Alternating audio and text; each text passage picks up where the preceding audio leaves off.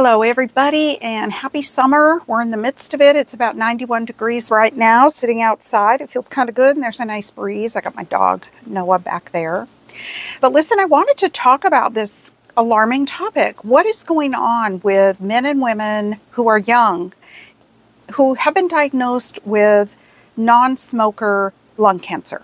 Another name for it is non small cell lung cancer. So, what is going on? You're seeing it everywhere. And I want to show you a couple things here.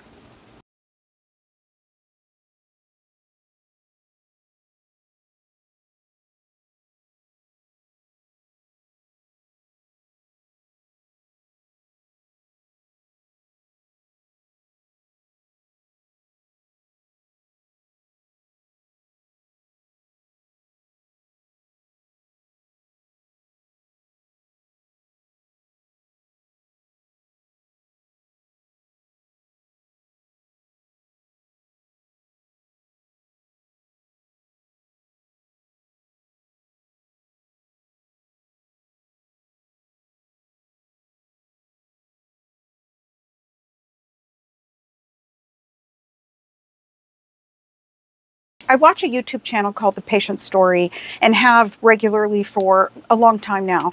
And you're seeing more and more people talk about their lung cancer journey, how they got diagnosed, how these athletes, young women, new mothers, mothers who are pregnant, have been developing lung cancer. Why is this happening? There's an increase in lung cancer diagnoses in young people, but also colon cancer as well, and other types of cancers. But today we're just going to focus on what's going on with the diagnoses of lung cancer. So, as always, I will post below in uh, the description uh, and also put some pop ups here of some information. You can read journals, you can read other articles, and I also have a couple YouTube links that I want to share as well. One of them from Dr. Attia. Are you familiar with him? He's also written a book. I follow him. Fantastic information all the time about health and wellness and longevity. And he talks about um, if you're able to pay the money, if your insurance doesn't cover, to get a low radiation lung MRI. Lung cancer is the leading cause of cancer deaths in the United States today among men and women. Non small cell lung cancer is the name for lung cancer when you are a never smoker or someone who has not smoked. So, therefore, you have a different version of lung cancer. Small cell lung cancer would be the version for those who have been smokers and it's affiliated with their smoking. So today we're just going to talk about the non-small cell lung cancer that's on the rise for those people who have been diagnosed out there who have never smoked a day in their life. They're not vapers, they're not smokers, and most of them, if you listen to their story, they are extremely healthy, vibrant people in the prime of their lives. So what's going on?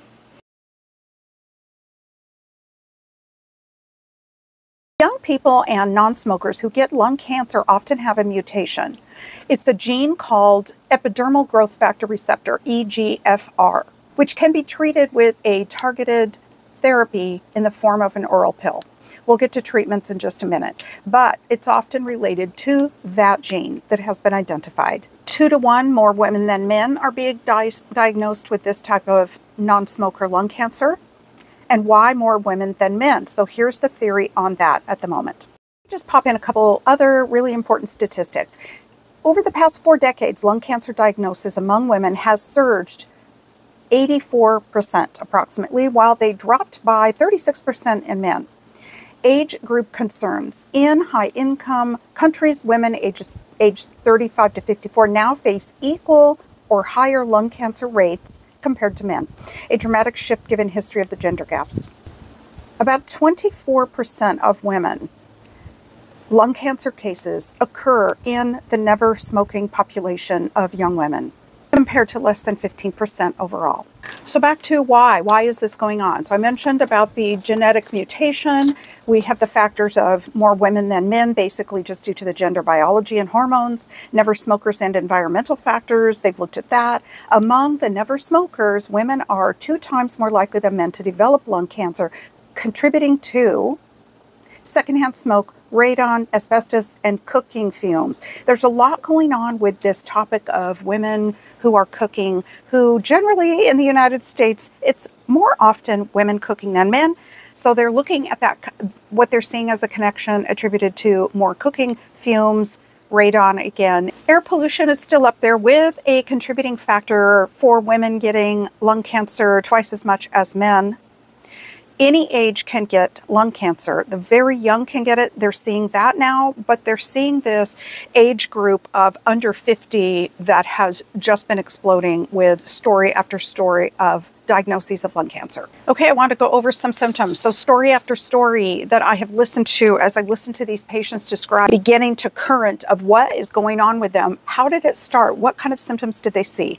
And most of them do talk about some of the same things. They most, but not all, talk about a cough, even if it's a small cough, it's a big cough, it's a persistent cough, it's a cough they've never had before that just is lingering and won't go away. A lot of them talk about pain, pain taking a deep breath, sharp burning pain in their lungs. Often people talk about pain here, uh, in their ribs, in their back, in their shoulders. And some people, you know, everybody describes pain differently, but some people have referred to it as, well, I've heard a man describe his pain as cramps. It's a cramp stabbing pain, burning pain, cramping pain. But pain is a symptom of something that might be going on. Other symptoms that most of them talk about has to do with fatigue, where they are healthy, active people, but now they can't keep up. They can't run the way they used to run or work out the way they once did. They attribute their fatigue to uh, having children, being working full time, being active in sports. So it's easy to kind of put that off or just a throat clearing kind of low grade cough as something unrelated to lung cancer. You're not thinking that it's lung cancer. So we've got fatigue, cough, and pain. How about night sweats? A lot of people get night sweats with lots of different kinds of cancers. That is always an issue that still goes on for people are these unrelenting, really soaking night sweats. Weight loss is another symptom. One person described she felt that something was here in her in her throat. And that just had to do with the tumor expanding. But that is really where she uh, focused on feeling that symptom. Did I mention shortness of breath? Can't remember if I mentioned that, but that's a big one as well. Where you used to be able to run up the stairs, you've got some shortness of breath going on, along with perhaps some of these other symptoms. So, getting to your primary care provider in a timely manner, as I've said so many times in other videos, that prompt treatment always tends to bring on a more favorable outcome than delayed treatment. Prompt, prompt, treatment to see your primary care provider. If you feel like you're getting blown off, go and see somebody else. Go to urgent care, go to the ER, go to who you feel you can trust and discuss your concerning symptoms with. What are some of the things that provider might do to come to a conclusion of a diagnosis of possibly lung cancer?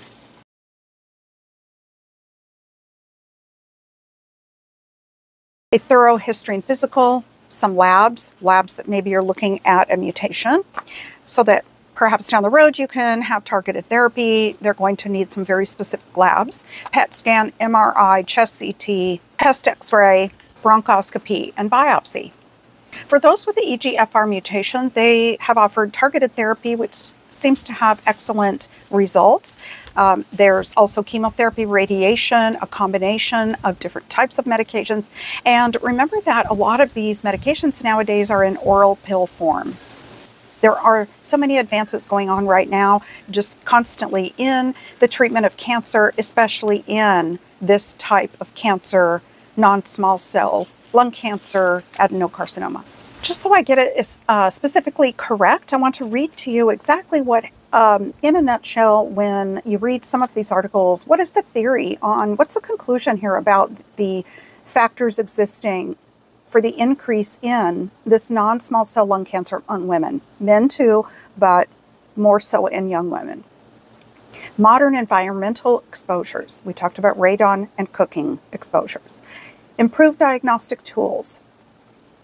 Actually, I should rephrase this. It's not just why, but how it's also being diagnosed. Improved diagnostic tools, shifts in population demographics, and possibly emerging or cumulative interactions between genetics and the environment. I talked briefly about Dr. Attia and how he has talked about the low dose CT of the chest, looking at the lungs for people to track this. I think it was every year or every two years. I think it was every year. And I believe it's approximately 200 to $250. It is covered by insurance if you are a smoker, if you have risk factors that agree with what the insurance companies are saying, so therefore they will pay. Those of us who aren't smokers then have to pay. It's interesting, isn't it? It just should be for everybody because early detection and following somebody each year so that you can see those subtle changes is what's really going to save a life. The low dose CT screening apparently reduces mortality by 14 to 20% in the high risk group. So that's a very effective tool. It's what we have for now. What else can we do?